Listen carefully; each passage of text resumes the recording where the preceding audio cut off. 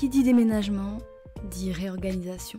Et après trois ans à discuter avec vous devant ma bibliothèque arc-en-ciel, il était temps d'agrandir notre étendue des possibles. C'est pourquoi j'ai décidé de partager avec vous le réaménagement de mon coin lecture. Donc si ça vous intéresse, continuez de regarder.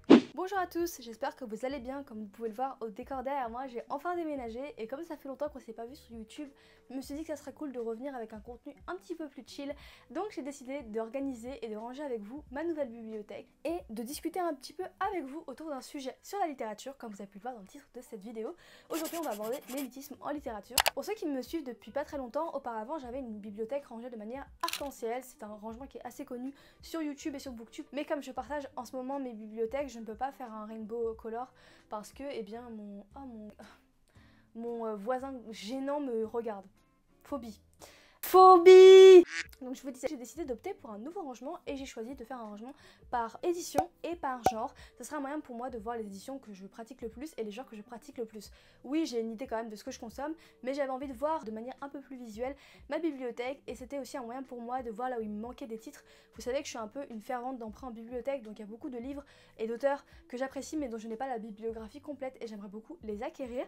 D'ailleurs, ça serait peut-être l'occasion de faire une partie 2. Tous mes livres ne rentrent pas en fait dans cette bibliothèque et d'ici peu je vais acheter encore une nouvelle étagère. Euh, s'il y a un book haul en fusion, ça sera l'occasion de faire un gros déballage.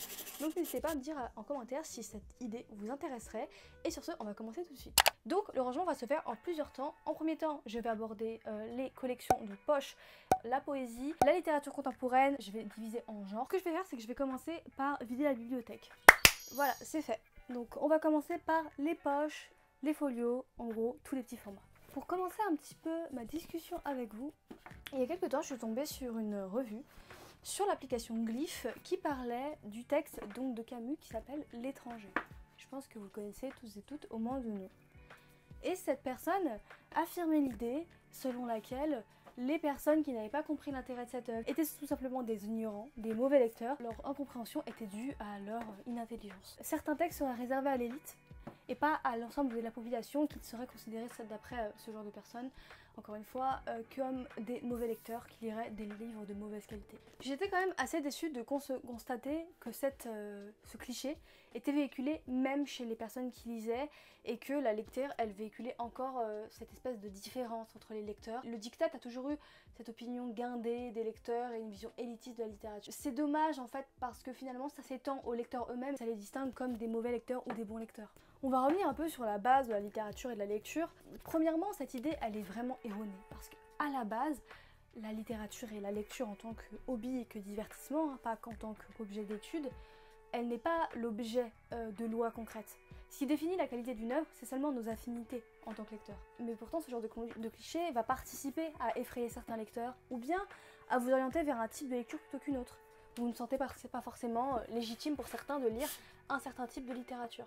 C'est pourquoi j'avais vraiment envie d'avoir ce débat avec vous sur l'élitisme en littérature, afin de voir si vous, en tant que lecteur ou en tant que non-lecteur, hein, si oui ou non, euh, euh, ce cliché sur la littérature, il constitue un frein dans vos choix de lecture ou dans votre envie de vous, lancer dans la lecture, et s'il participait finalement à créer des inégalités chez les lecteurs. On va d'abord commencer par une petite définition de l'élitisme. L'élitisme, qu'est-ce que c'est? L'élitisme, ça découle du terme élite, ça consiste euh, dans le fait de favoriser une petite partie de la population aux dépens de la masse. Ça peut aussi être considéré comme une idéologie, avec l'idée euh, de favoriser une population considérée comme meilleure, supérieure, euh, donc, et donc par un effet de miroir, considérer que le reste de la population, elle est inférieure à l'élite qui est au pouvoir. Donc on pourrait considérer l'élitisme en littérature comme une manière de distinguer différents lecteurs, donc les bons lecteurs au-dessus des autres, mais aussi de définir des genres comme euh, ayant une supériorité vis-à-vis des autres. L'élitisme en littérature, je pense qu'il est d'abord dû à l'éducation, puisque finalement le premier lien qu'on a avec la lecture, pour la plupart d'entre nous, c'est l'école. L'école va nous offrir non seulement un accès à l'éducation, mais va nous donner aussi un trousseau de lecteurs afin de nous forger une culture générale. Et à partir de cela, je pense qu'on va se donner une idée selon laquelle ces lectures-là qu'on a faites, c'est des bonnes lectures et le reste, c'est des mauvaises lectures. Cette interprétation, elle va par extension s'étendre aux lecteurs eux-mêmes. Parce qu'ils ne lisent pas ces genres acceptés et ces auteurs acceptés, eh bien, ce sont des lecteurs minimes parce qu'ils ne s'intéresseront finalement au fond du texte et pas à la forme et qui n'auront qu'un niveau de compréhension d'un texte. Quand on lit un livre, on a plusieurs couches d'interprétation. Un lecteur expert serait capable de lire et de comprendre, d'entendre les différents niveaux d'un texte. Au contraire, un mauvais lecteur ne serait pas capable d'entendre un texte et même lire des textes qui ne possèdent pas différentes couches euh, d'interprétation. Encore une fois, cette idée est extrêmement sclérosée parce que même dans la littérature jeunesse, donc qui est à l'origine adressée aux enfants, eh bien, euh, il y a plusieurs niveaux de lecture puisque déjà, ce sont les parents qui achètent les ouvrages. Donc fatalement, c'est d'abord adressé aux parents puis euh, aux enfants eux-mêmes. Autrefois, elle faisait sens finalement quand il n'y avait qu'une partie de la population et donc une élite qui apprenait à écrire et à lire, fatalement, ce hobby de la lecture n'était réservé qu'à une partie de la population, donc il y avait une conception élitiste à juste titre de la littérature. Mais depuis l'instruction obligatoire et nécessaire, la majorité de la population sait lire, en France en tout cas. Et même si l'illettrisme continue de perdurer en France, on peut considérer que ce hobby, il peut s'adresser à la majorité de la population. Alors pourquoi on continue à avoir cette vision élitiste de la littérature, malgré le fait que finalement l'instruction, a participé à sa démocratisation plus qu'à la renfermer dans un carcan on pourrait se poser la question des choix. Peut-être qu'il n'y a pas assez de lectures qui puissent intéresser une majorité de la population. Peut-être qu'auparavant, cette conception élitiste de la littérature, elle faisait sens puisqu'il n'y avait qu'un type de texte et que certaines personnes ne se sentaient pas représentées dans la littérature, si c'est cela qu'ils cherchaient en littérature d'ailleurs. D'ailleurs, c'est marrant parce que j'ai deux fois ce même titre. Aujourd'hui, on n'a jamais eu autant d'éditeurs et de propositions éditoriales qu'auparavant. Euh, il y a une pluralité dans les publications qui est vraiment sans commune mesure. Et donc finalement ça permet d'avoir une pluralité de lecteurs puisque on propose d'autres genres. D'autant plus que cette diversité, elle offre à voir une contemporanéité euh, dans la littérature. Le fait qu'il y ait une telle pluralité dans les propositions éditoriales, eh bien ça montre à quel point la littérature est actuelle. Et considérer que la littérature est élitiste et qu'elle n'est réservée qu'à une classe de la population, c'est la détacher de sa modernité. C'est considérer qu'elle ne, se porte pas aux évolutions de la population et qu'elle n'est réservée qu'à une petite strate. Même dans les études universitaires d'ailleurs, la littérature, elle n'est pas conçue comme un, genre élitiste. Bien sûr qu'on l'aborde de manière experte, puisque c'est le but quand même des études universitaires, mais on va étudier aussi bien la littérature classique, donc de la Pléiade, que la littérature jeunesse, que la littérature sérielle avec les Marvel et compagnie. Alors pourquoi est-ce qu'on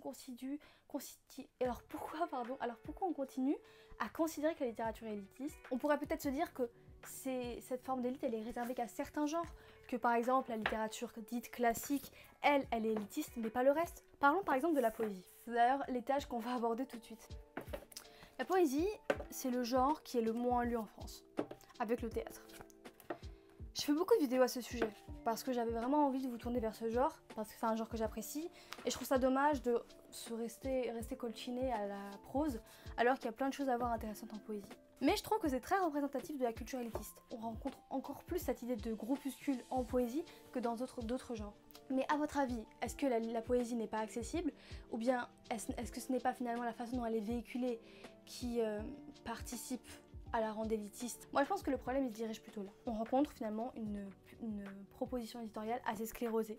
Peut-être que l'élitisme en littérature il est dû à cette proposition de communication, à cette proposition de mise en page qui est vieillotte, qui n'est plus attirante et qui ne propose pas quelque chose d'innovant et de moderne. Mais encore une fois, on devrait nuancer notre propos sur l'idée que la publication et la médiation en édition, elle est sclérosée. Il y, a, il y a de plus en plus de médias qui parlent de littérature.